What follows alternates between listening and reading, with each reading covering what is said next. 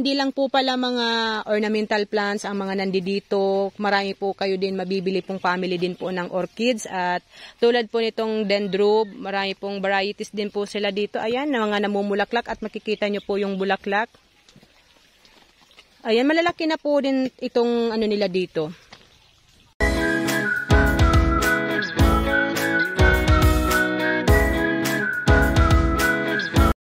Hello mga plantito plantita, good day po sa inyong lahat. At ayan sa taga ibang bansa, alam ngayon ay Monday, alam ko sa kanila ay Sunday. Kaya yun din yung pag-celebrate nila ng Mother's Day. Ayan sa lahat po ng viewers ko sa ibang bansa, ayan kay Ate Albi, kay Ate Risi, sa kay Ma'am Liberty Osorio at sa lahat ayan kay ma ay kay, kay Tita Winnie ayan at sa sa lahat po ng mothers hindi ko lang po kayo maisa-isa kasi hindi ko po sa laulado de, hindi ko memorize. Sa lahat po ng viewers ko sa ibang bansa na ngayon yung Mother's Day sa kanila kasi nauna ang Pilipinas ng isang araw. Ang dito sa Pilipinas ay Sunday nagse-celebrate at sa kanila naman sa ngayon ay Monday dito sa Pilipinas at sa kanila ay Sunday. Ayan. Happy Mother's Day po sa inyong lahat at nandito na po tayo sa part 3 nitong pag-garden tour ko po dito sa Infinite Flora.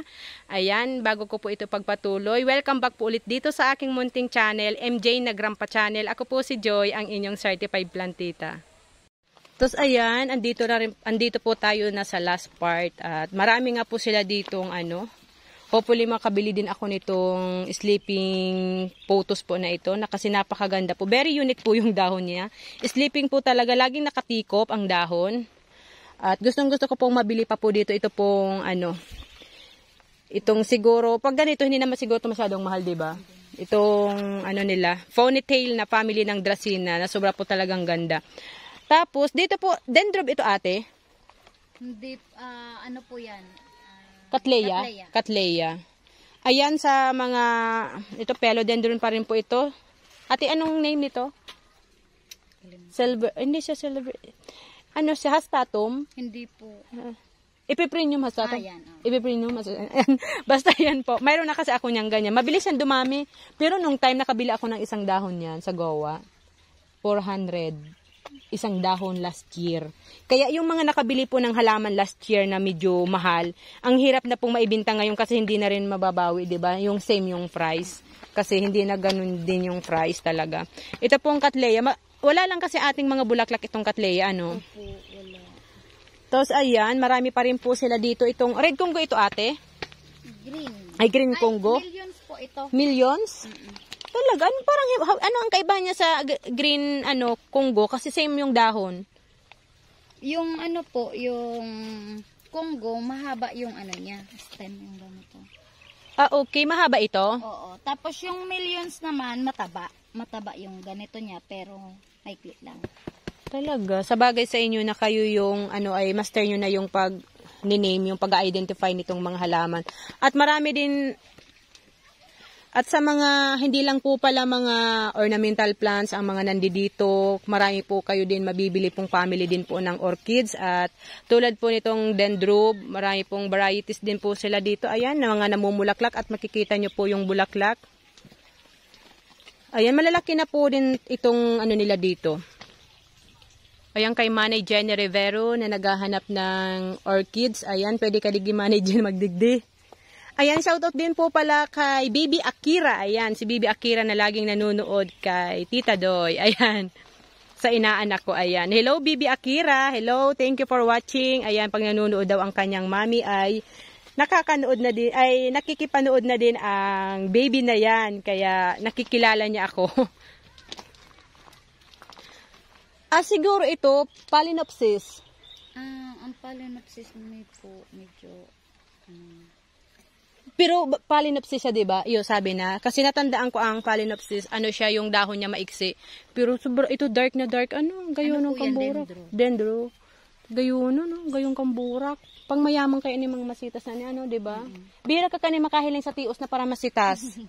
To be honest po mga plantito, plantita, ito nga ito mga halaman, makikita po talaga to sa mayayaman, sa magaganda ang buhay ng mga halaman. Sa mga pobre po, bihira po ang igwakaan. Siguro kung natatawaan na lang po, yung nabibigyan na lang po yung pobreng mga halaman, magkakaroon po nitong medyo mahal na mga halaman po. Tapos ayan, meron po sila nitong family din ng Cryptanthus. Ayan. At ate, ang gayon nung kaining ano mo, black sisi. Ayun ate ho, di ba? Itong ZZ plant na ito, kahit itong ordinary, wala ako nito. Aywan ko ba't hindi ako nakakabili nito. Na-black yan, ma'am, pag matured ng dahon. Ito? Ibig sabihin black talaga ito? Wow, ang gayong niya, black oh. Mostly kasi green. Yung green nga, wala ako. Ito pa kayong black. Ayan, yung Calathea mosaic. Ah, tama ate mosaic. Cryptanthus, tapos itong mga... Ito ate, ano siyang halaman? African violet po. African violet. Ang dami din variety. Mm, ano lang po yan, iba lang ang kulay niya. Pero ang iyan pala yung ano niya, yung African violet. Ano? Patubo. Mahibog ang dahon. Ma- makapal yung ano niya, yung dahon niya. Ayan. Thanks God at nagkaroon ng chance si Plantita Joy. At salamat kay Ma'am Aida at kay Ma'am Margie na nagbigay sa akin ng idea kung saan ito matatagpuan itong Infinite Garden, in- Infinite Flora Garden. At makapag-garden tour din dito kahit hindi man ako nakabili dito ng mga maraming halaman. Dalawa lang yung nabili ko. At least, alam ko na po kung saan pwedeng mag-wholesale kasi pag sampu na yung nabili mo ay na assorted na halaman ay wholesale na din siya at talaga maaabil mo po yung wholesale price nila na murang-mura po talaga. Sabi ba nga ni Sir, dikito sa nadasi sa iyang ano, dagdag ano? Konti lang daw yung patong ni Sir dito sa mga halaman po. Parang mas kumikita pa yung mga ano. Ay, ayun na, ayun na. Ayan. Ate, ano yan talaga? Nagyayelo talaga ining ano mo na ini? Ano yan? Photos pa din siya? Opo. Nagyayelo talaga? So, na ano na po kaya siya, dapat dahil po siya nakadirect sa ano. Kaya nagyelo? Pero dapat anong kulay an? Nagwa-white po yan. Ah, nag-white pero ngunya nagyayelo na siya. Kasi mainit po ang net. Hindi Tapos, oh, hindi nakadoble ang net. Ayan. Tapos, marami kayo nitong waling-waling yan. Mm-mm. Karabing waling-waling. Aram ko ang waling-wa... Ayan mga plantito, plantita. Pigpos ko po muna kasi tinatanong ko po itong price ng waling-waling. Pag nakapunta po kayo dito, magugulat po kayo sa price nitong waling-waling. Kung nakikita nyo na po yung mga iba kong na-featured na garden na nagbibigay po ng price ng waling-waling, dito po magugulat kayo sa price at baka mapapabili po kayo dito sa waling-waling. Grabe. at least may idea pa ako sa price. Ayan, sa gusto pong mag-collect nitong, maraming iba-ibang kulay ito.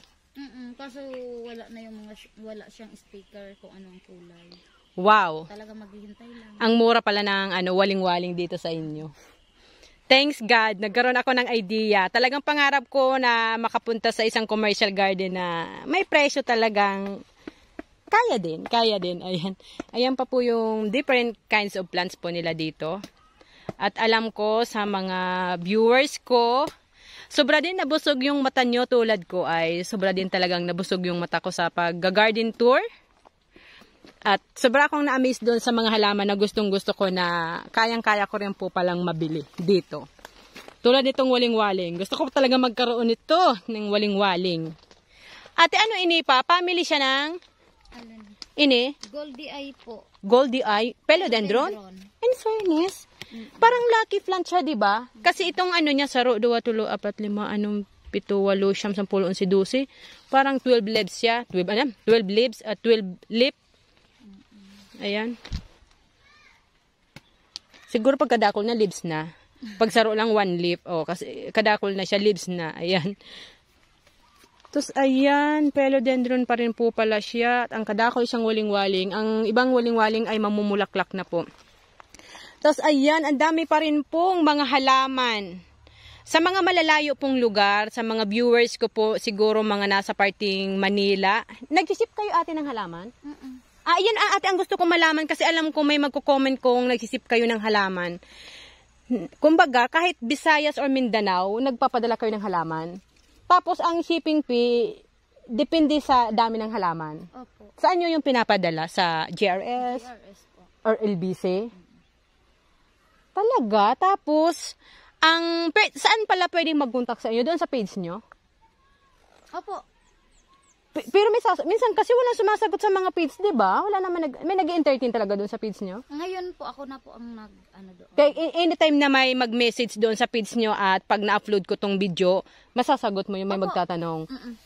So, ayan mga plant, Eh, si, ma'am, eh, si madam po, siya na po talaga yung naghahawak ng i-screenshot ko yung page nyo, yung Infinite Flora, para alam nila kung ano yung picture ng ano nyo, yung profile nyo, para mahanap nila. Kasi alam ko sa mga viewers ko parting ah, Metro Manila, ayan papun- papunta ng North, ayan, North Luzon at sa Visayas at Mindanao sa naghahanap ng murang bilihan ng halaman na pwede kayong mag-wholesale na galing sa Ecuador, Holland, Thailand and China ay pwede po kayong makabili po dito sa Infinite Flora.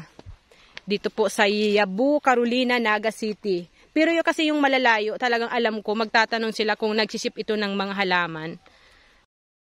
Ayan, mag-shoutout po muna si Plantita Joy para madugtong po dito sa i-upload ko po na ito kasi may, mayroon po ako nakitang nagpapa-shoutout at ayan, tapos na po si Plantita Joy magboto at ayan, Happy Mother's Day po pala sa lahat ng mothers sa ibang bansa kasi doon pala ngayon ay Sunday.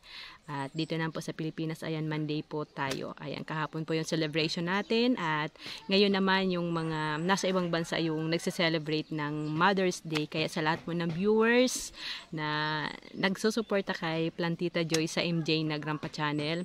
Ayan, Happy Mother's Day po sa inyong lahat. At ayan, shout out po pala kay Ate Franz Culinaris ng Iksumo Amugis, Lagunoy, Camarines. Or ayan, hello po ate, thank you po sa panonood at Kumusta po yung mga halaman po ninyo? Namumulaklak na po ba yung mga orchids nindo? Ayan, baka po bisitahan ko pa mga orchids nindo. Ayan, at shoutout din po kay Ate LB Impista ng Molino Por, Bacoor, Cavite. Hello po ate, ay hello po ma'am LB Impistan at ayan kay Ma'am Madeline Hanani. Ayan, hello po Ma'am Madeline at shoutout din po sa Ma'am She's Diary. Ayan, diary. Ayan, support nyo din po mga plantito, plantita. At shoutout ko din po itong following countries na nanonood po sa MJ na Grandpa Channel na nakikita ko po. Ayan, siguro po mga OFW din po ito or mga citizen po talaga dito sa mga country na ito.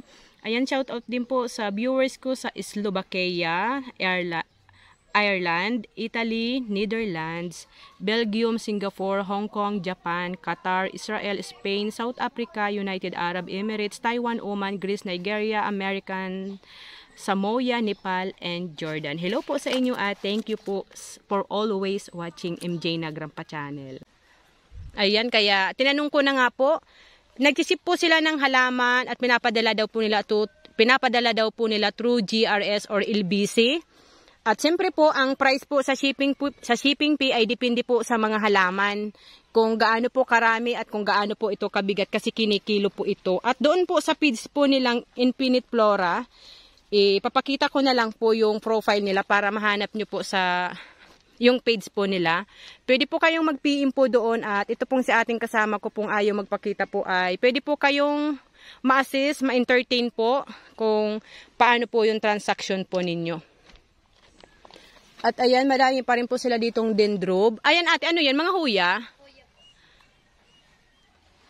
At ayan nga po, mayroon po din po pala sila dito itong huya. Ate, yung mga huya ni din ninyo ay imported din? Wow, ang gayon. Sana kung nagluwas na kuta, lumabas na sana yung mga bulaklak niyan ay napakaganda siguro.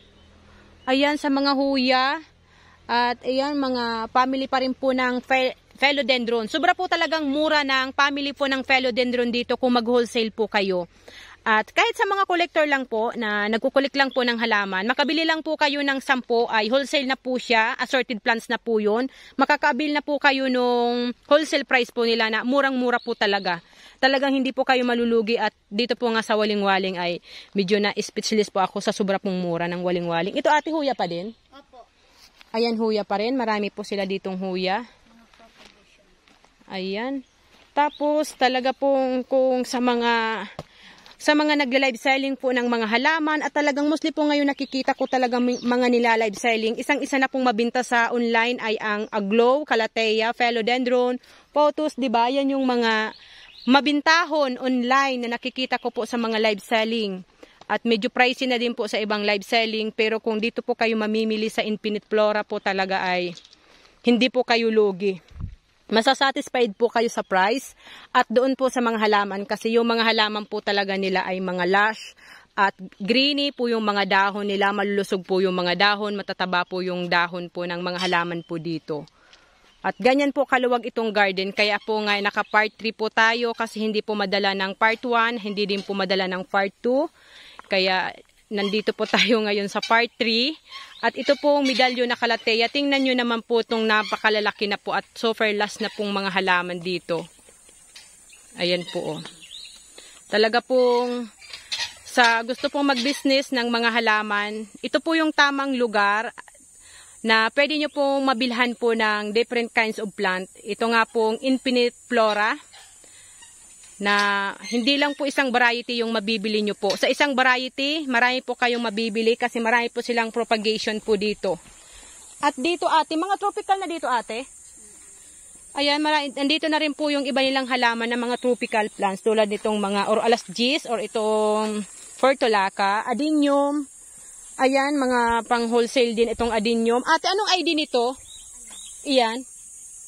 Ito talaga hindi ko alam yung ID.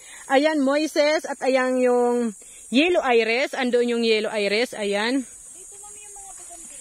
Ay ate, puntahan ko dyan. So, ayan yung iba nilang plants dito. Kadakulon masitas. Bako sana po pala ano, bako lang mga indoor plants. Ang kadakol din silang iba pang masitas dito. Mga adinium, mga pang landscape din yung iba. Ayan, mga palmira at itong ganitong halaman. Mayroon din silang mga Nakita kong powder pop, different kind of santan. Bilisan ko na kasi yung anak ko nagmamadali na. Wala pa kaming almusal pag alis ng bahay. At talagang gutom na. Ate, ito ay butterfly plant. Orchid tree. Mayroon pala niyan pink. Kasi yung sa akin ay white. Ayan, parang fuchsia pink. Ayan. Bilisan ko na po pagtaram. Bilisan ko na pagtaram. Ayan, mayroon din po sila dito mga roses. Hawaiian tea plant. Kadakulon, ito pong bacularis. Ito pong Sansevieria na mga ginagawang pang souvenir, ayan mga pang regalo. Ayan, mga Hawaiian tea plant. At itong si Sir ay hindi lang po ito focus sa mga plants. Marami din po siyang tinda. Ate, yung gulay ni Do collection or pambinta? Ang mga gulay. Ah, pambinta rin pala itong mga gulay dito ni sir. Kaya sabi niya sa akin, parang hindi daw aabot ng isang ektaryo yung halamanan niya. Kasi yung iba daw na bahagi nitong kanyang properties ay mga gulay. Minsan maisan, maisan gulay. Ate, itong heliconia mo dito, anong kulay ng bulaklak nito? Ayan, mayroon ito. Sana kung malaman ko yung bulaklak nito, ito yung maganda eh. Tapos ayan, yung papua, yung very common na plants, papua kalipay, at itong akalipa plant. Mayroon din po mga ganyan, mayroong cactus. Ate, anong masita sa ini? Haling ligaspi? Di po aram ang ID? Ayan, balo, kaskasan na po si Plantita Joy. Ayan yung fine tree, yung family ng fine tree. Pag naglalandscape po kayo, ayan, marami din po. Tapos ini, ayan, variegated na oregano, kadakol. Itong golden papua kalipay. Ayan. At different kinds of bugambilya. Tapos ayan po sa mga grafted na bugambilya, ayan, ilang puno na rin po ito ay available din po dito. At yung malalaki na pong mga rubber tree, ayan, available din po dito. Ito pong mga pang landscape po, mga pag nag start po tayo ng garden at magla-landscape po tayo. At ano yan, kalateya din yan, or ano, heliconia. Ayan, heliconia at ito pong tawag nito, pap, itong Chinese, crouton, itong pikara, saka yung ganito. Ayan, kadakulon po ning rubber tree rubber tree, and ito pong pandamos.